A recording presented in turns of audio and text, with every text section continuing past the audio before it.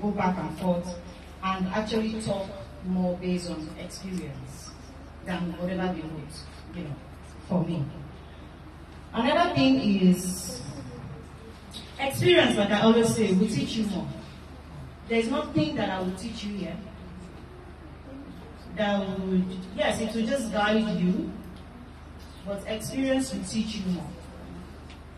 When you start managing your clients, when you start managing your team, you can make a better decision because we are all different individuals. And from last night, of course, I was, you know, reading to see how I can also come up with this. And I also watched some videos.